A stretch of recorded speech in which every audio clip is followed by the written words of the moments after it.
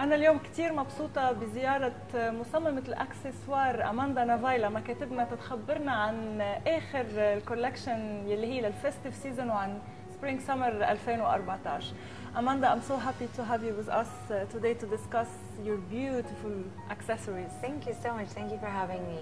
Let's start from the beginning. You started four years ago uh, Yes. by designing uh, bags. Yes. Tell us about your passion and how you started. I just had this amazing passion for Python since I can remember, and I always wanted to become an entrepreneur.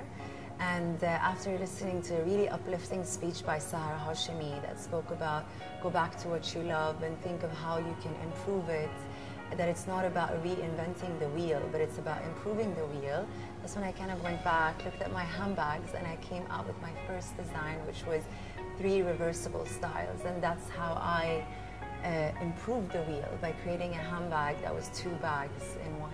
So always your bags have uh, like uh, a mission or they're practical yes, or I try to make them smart. Let's go straight to our subject about the collaborations you had. Tell us about the collaboration for those amazing four bags, Yes. celebrity bags. Yes, I'm working in support of the United Nations World Food Program now, and my role is to increase awareness about them. And uh, so I decided to team up together with four lovely ladies in Dubai that are all very powerful, independent, and strong in their own ways. And they helped me by collaborating each one of these handbags, and they're all limited edition. And it's a non-profit project, and the proceeds is going to go towards alleviating hunger in the region.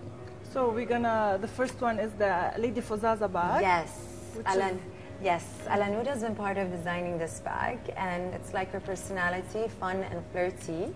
Um, this one has a gorgeous tassel, which is removable, and you can put it on the chain, for example, and turn this into a gorgeous necklace.